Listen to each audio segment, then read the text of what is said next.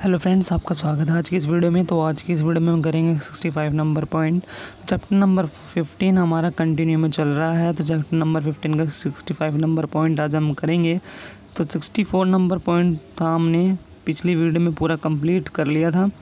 तो 65 number point है हमारा फाइनल एल टी और final L T is express by L और टी को हम हाल्व करके and final R T is generally express by R T को हाल्व करके।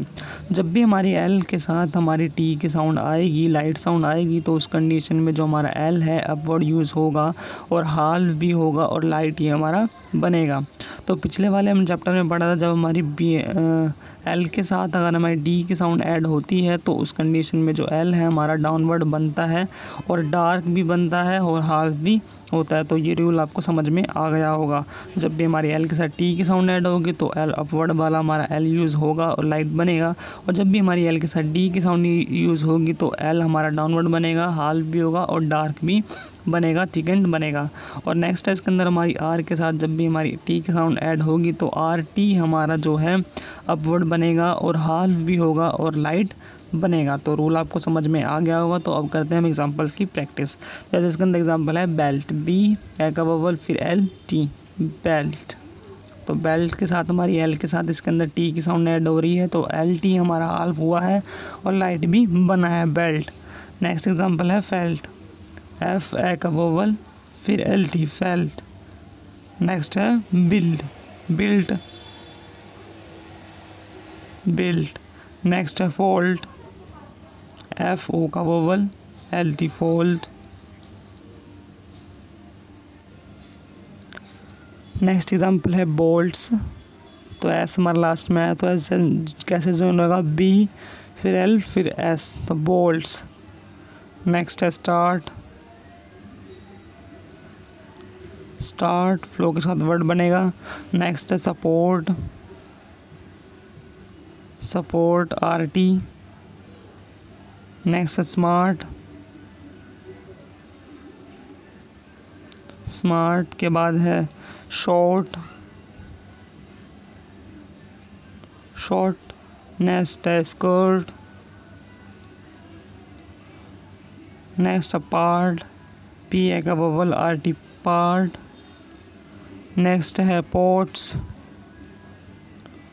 पोर्ट्स वो का vowel R T S sports next है स्पोर्ट्स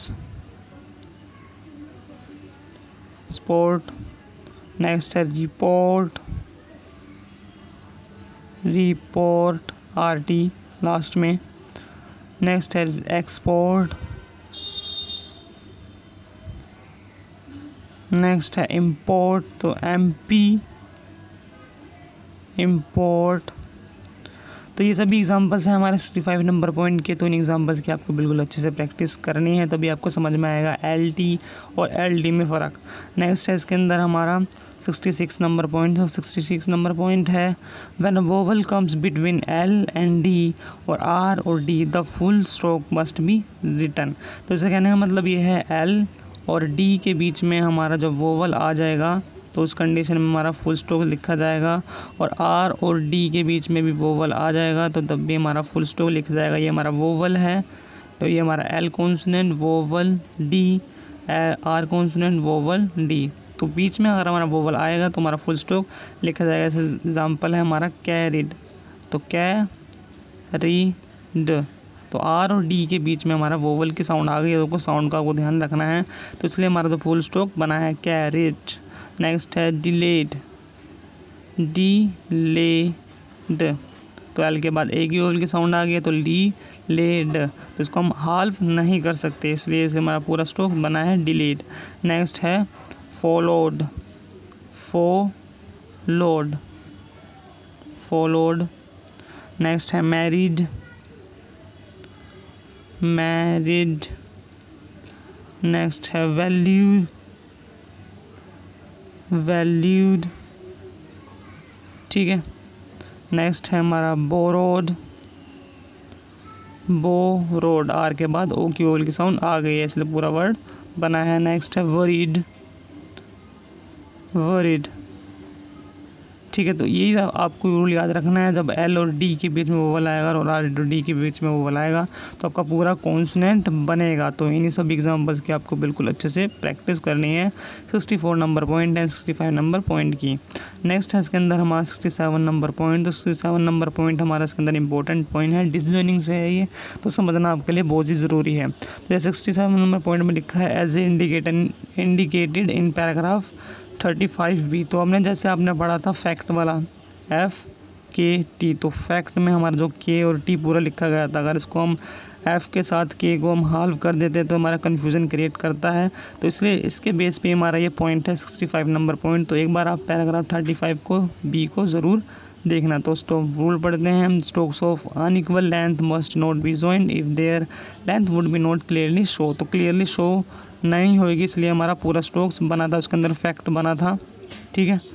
इसी तरह हमारा ये वाला, इसके अंदर जैसा वर्ड है एटीट्यूड तो एटीट्यूड के अंदर अगर हम ऐसे बनाते हैं एटीट्यूड तो उसे पता ही नहीं चल रहा। ये हमारा टी बन गया फिर इसके अंदर पता ही चल रहा हमारा टी है। ये क्या बना हुआ है? हाफ़ लेंथ हुई है, कहाँ से क्या हुआ है? तो इसके अंदर कन्फ्यूज़न क्रिएट होगी। तो इसलिए इसके अंदर हमारा टी तो हमने इससे बना लिया। तो ट्यूड तो टी के अंदर भी हमारी डी की साउंड इसके अंदर हाल्व हो रही है। तो इसलिए हमारा डिसजॉइनिंग करके हम ऐसे इसको लिख देंगे। तो हमारी टी और डी को ये रिप्रेजेंट करेगा। ये बन गया हमारा टी और ये बन गया हमारा टी और डी ड्यूड टी, ट्यूड। तो इसके लिए हम डिसनोइनिंग इसको करते हैं, ठीक है? तो आपको समझ में आ गया होगा ये रूल एक बार थर्टी फाइव नंबर पॉइंट और देख लेंगे तो आपको बिल्कुल क्लियर हो जाएगा। ये वाला पॉइंट तो डिसजॉइनिंग भी आपको बिल्कुल स्टोक के क्लोज में करनी है, जैसे लिखा है एटीट्यूड तो टी और डी को आपको बिल्कुल क्लोज में इसको डिसजॉइनिंग करनी है। जैसे नेक्स्ट एग्ज़ाम्पल है, इसके अंदर हमारा क्रेडिटेड तो क्रेडिट तो हम ऐसे बनाते हैं क्रे क्रेडिट तो क्रेडिट बनता है और टिड अगर बना तो टी और डी इसके अंदर की साउंड आ रही है। और तो टी हमारा बन जाएगा हाल और ये हमारी डी की साउंड को ऐड कर लेगा। इसलिए हमारी डिस ज्वाइनिंग ये हुआ है। अगर हम मैं बनाता हूँ क्रेडी टिड ऐसे इसको बनाता हूँ तो ये हमारा कन्फ्यूज़न क्रिएट करेगा कि हाल हुआ भी है कि नहीं हुआ, क्या बना हुआ है स्ट्रोक तो इसकी कन्फ्यूज़न करने के लिए हम डिजॉइनिंग इसको करते हैं। क्रेडिट हमारे से वर्ड बनेगा। नेक्स्ट है ट्री टिड जैसे एग्जांपल हो गया treated. Treated treated next है डिक्टेटेड डिक्टेटेड नेक्स्ट है स्टेटेड स्टेटेंट तो एस टी स्टे टेंट स्टेट टेंट तो अगर हम स्टेटेंट को स्टेटेंट को अगर ऐसे बनाता हूँ मैं तो ये कन्फ्यूज़न क्रिएट करेगा और हाल विज्ञान भी पूरी मतलब कन्फ्यूज़न क्रिएट होगी। तो स्टेटेंट को स्टेटेंट को हम इसका डिज़ाइनिंग करेंगे टी और एन को। नेक्स्ट एग्जांपल है इलस्ट्रेटेड इलस्ट्रेटेड नेक्स्ट है पोस्ट पो, पोस्ट डेटेड पोस्ट डेटेड ठीक है तो इन्हीं सभी एग्जांपल्स की आपको डिसजॉइनिंग वाले की प्रैक्टिस करनी है। अगर आपको समझ में नहीं आया होगा तो आ गया होगा, वैसे तो नहीं भी आया होगा तो आप थर्टी फाइव नंबर पॉइंट अच्छे से देख लेना तो आपको बिल्कुल अच्छे से समझ में आ जाएगा। उसकी जैसे रिलेटेड है। नेक्स्ट इसके अंदर हमारा special use of disjoining तो जैसे इसके अंदर हमारा है प्रॉम्प्टलेस तो प्रॉम्प्टलेस में प्रॉप प्रॉम्प्टलेस प्रॉम्प्टनेस को हम एन एस को डिसजॉइन करेंगे क्योंकि अगर हम बनाते हैं ऐसे प्रॉम्प्ट नेस ऐसे बनाते हैं तो ये हमारा कन्फ्यूज़न क्रिएट करने वाला है और ये हमारा हालविंग प्रिंसिपल इसके अंदर यूज़ हो रहा है, इसलिए हम इसको नेस को डिसजॉइन करेंगे प्रॉम्प्टनेस इसके बाद है हमारा इनडेप्टनेस इनडेटनेस इनडेटनेस नेक्स्ट है आउटफिट आउटफिट आउटफिट को अगर मैं ऐसे बनाता हूँ तो ये हमारा फ्लो में बनेगा कन्फ्यूज़न क्रिएट करेगा फिट में हाल बनेगा इसलिए। तो आउटफिट को हम फिट को और डिसजॉइनिंग कर देंगे हमारे फिट को रिप्रेजेंट करेगा। तो डिसजॉइनिंग कहाँ होनी है, वो भी आपको अच्छे से ध्यान रखना है। तो इसके बाद हम देख लेते हैं शॉर्ट फॉर्म इस पॉइंट से रिलेटेड तो पहले हमारी शॉर्ट फॉर्म है शॉर्ट ही है।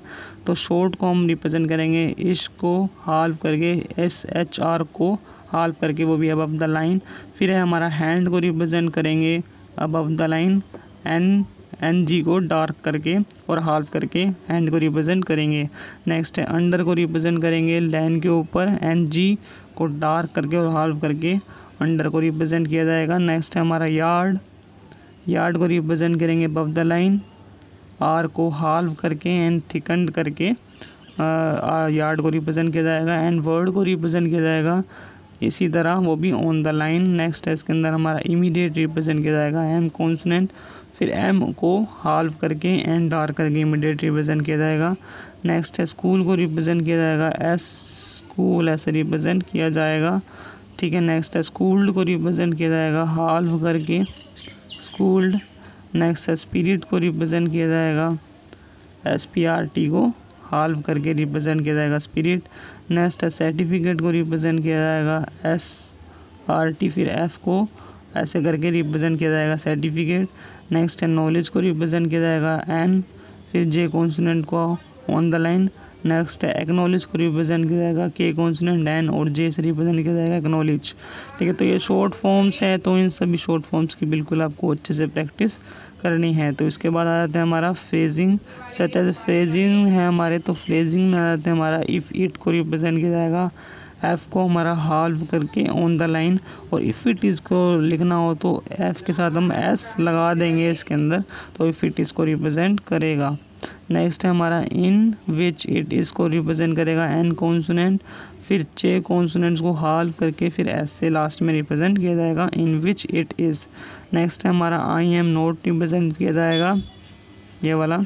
तो आई एम नोट को एम को हम हाल्व करके इसके अंदर आई एम नोट को रिप्रेजेंट करेंगे। नेक्स्ट हमारा यू आर नोट को रिप्रेजेंट किया जाएगा। यू फिर आर को हम हाल्व करके फिर एन लास्ट में बन जाएगा। हान को हाल्व करके आर को सॉरी हाल्व करके फिर एन लास्ट में लगा देंगे। तो यू आर नोट को रिप्रेजेंट करेगा। नेक्स्ट है इसके अंदर हमारा नेक्स्ट वो शॉर्ट फॉर्म है।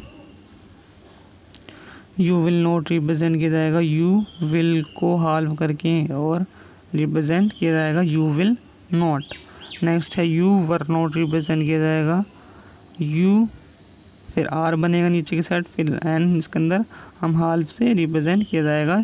यू वर नॉट नेक्स्ट है दिस वुड भी रिप्रेजेंट किया जाएगा। दिस कॉन्सोनेंट फिर वुड फिर would be this would be ऐसे रिप्रेजेंट किया जाएगा। नेक्स्ट है आई वुड रिप्रेजेंट किया जाएगा।